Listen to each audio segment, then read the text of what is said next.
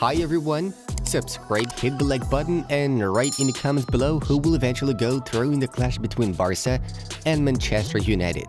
And while you're typing, we proceed to start. Let's get the show on the pitch.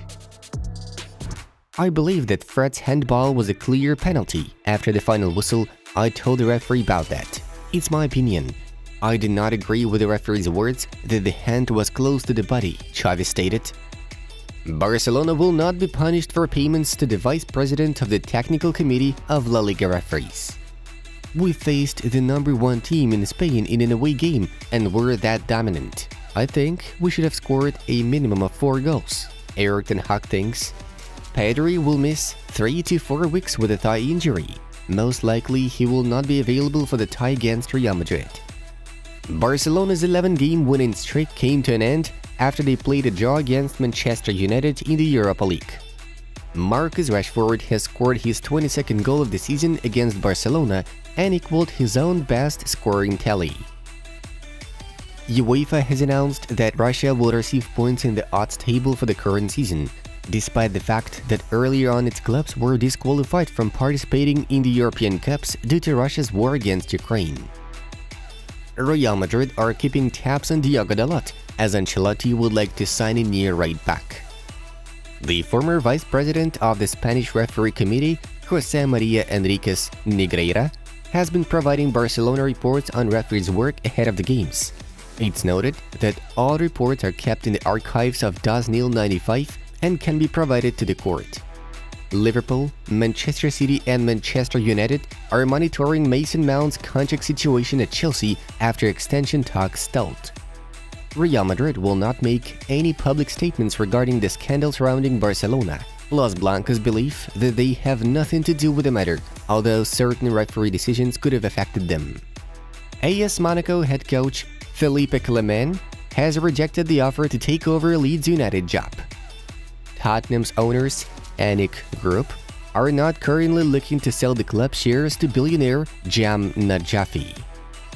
I understand Rafinha's anger. I was angry too when I was substituted, but he apologized and everything is fine, Xavi said. When he realized that the ball has already been knocked out, joined the defense, and Mudryk let Adeyemi run away from him, Jacol noted.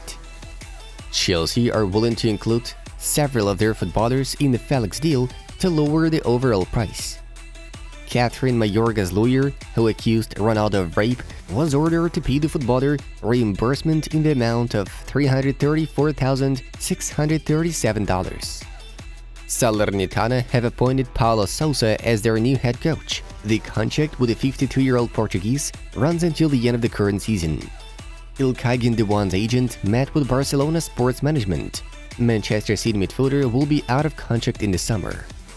Arsenal and Barcelona are interested in forward Vitor Roque. Athletico Paranaense asked at least 40 million euros for his services. Erling Haaland has broken his three-game goal-scoring drought against Arsenal. Spezia Calcio have announced on its official website that Luca Gotti has been relieved out of his position as head coach of the first team. Al Nassr forward Cristiano Ronaldo has been named in the FIFA 23 Team of the Week for Week 16.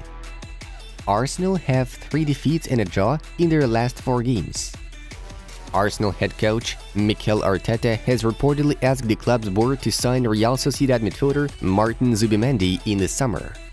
I have more belief in winning the title than I had before the game against City. The players feel they can do it, Mikel Arteta assured. 560 penalties have been awarded in favor of Real Madrid in La Liga, an absolute record. Manchester United, along with Liverpool, intend to sign Eintracht Frankfurt star Randal Kolo Muani this summer. Man City is the first club to win seven consecutive away games against Arsenal. Neymar was spotted taking part in the poker tournament just hours after Paris Saint-Germain's 1-0 Champions League defeat to Bayern Munich. The Brazil Football Federation will punish teams whose employees or fans commit incidents of racism and racist abuse with points deductions. Ceballos is doing a fantastic job and we are delighted with him, Carlo Ancelotti shared. Calvin Ramsay has another unspecified long-term injury and has now had surgery on it.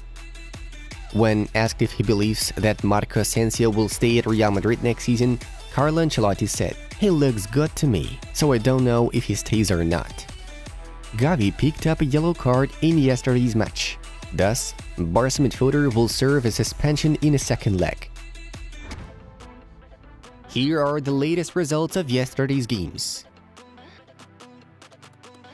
Moving on to the May news of the release.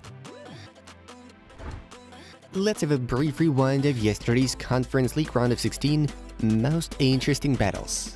Here we are to highlight Fiorentina's confident victory over Braga with both Jovic and Cabral bagging braces. We also should definitely mention the duel between Lazio and Cluj. The Romans won with a minimal difference thanks to Ciro Immobile's accurate shot. Up next, we have the Europa League round of 16 clashes. Ajax could not beat Union 0-0. RB Salzburg turned out to be stronger than Roma 1-0. Nicolas Capaldo late header saved the day for the Red Bulls. Shakhtar dealt with Rennes 2-1. Monaco got an unexpected away victory over Bayer 2-3. Guests responded to goals from Wirtz and Diaby with brilliant strikes from Diatta and Disasi. Radetzky's own goal also helped to make the difference. Sevilla smashed PSV 3-0 and Serie, Lucas Ocampos and Nemanja Gudelj got the job done. Sporting and Midtjylland ended things up in a 1-1 draw, and Juventus disappointed their fans with a draw against Nantes 1-1. Blas equalized after Vlahovic's goal. At last, we had the main event of the day, in which Barca and Manchester United gave us a thrilling roller coaster ride to remember. We are sure you have already watched the whole match or its review, so we are not gonna describe every single minute in detail. 2-2 is the final score. Marcos Alonso gave Blaugrana the lead. Then the Red Devils quickly responded with a strike from Rashford. Koundé's own goal made things complicated for Barca, but Rafinha's cross saved the Catalans a chance for a place in the quarterfinal. 2-2. Aside from purely gaming moments, there were many controversial situations such as after contact with Koundé and Fred's handball in the box. Anyways, we saw a phenomenal spectacle that resulted in a logical draw. Everything will be decided at Old Trafford. PSG are not gonna spend all available resources to keep Lionel Messi in the squad, RMC Sport reports. The current deal of the 35-year-old footballer expires in the summer, while renewal talks have recently become problematic. The source also notes the Red and Blues having no intention of trying to convince Messi to stay at any price. Therefore, it's more likely that Lionel will leave Paris as a free agent. Lionel Messi's father commented on rumors about his son's potential return to Barcelona. I don't think Leo will play for Barca again. The conditions are not met, we have not spoken with Laporta and there is not even an offer from the club. I don't know if it's gonna be possible. Leo has a contract with PSG, Jorge Messi concluded. PSG head coach Christophe Galtier may leave his post before the end of the ongoing season. According to RMC Sport, the manager's position will be at risk in case the Parisians get knocked out from Bayern Munich in the Champions League. The game in Paris resulted in Bavarians' victory 0-1, while the second leg will be held in Munich on March 8th. At the same time, the board is not concluding any consultations regarding Galtier's possible dismissal. The coach has a clear deadline to improve the result, that is, the second meeting against Bayern. Thomas Tuchel has been included into the list of candidates for the next PSG head coach. According to RMC Sport, the return of the German manager is among options in case Christophe Galtier gets sacked after the Champions League second leg battle versus Bayern Munich. Moreover, Tuchel really enjoys the support of the club's management, though Zinedine Zidane still remains the favorite for the Qatari owners.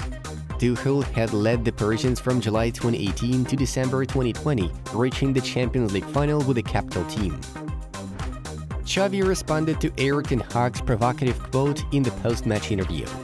If Ten Hag says they deserved four goals, then I respect him. We could have scored more as well. In the end, I'm left with the feeling that we had the chance to beat a great team. Guys, how do you think we'll end up winning this battle? Manchester United or Barca? Share your thoughts in the comments below. Folks, don't forget to check out suggested videos from our other projects. Have a good time watching, and see you in a bit.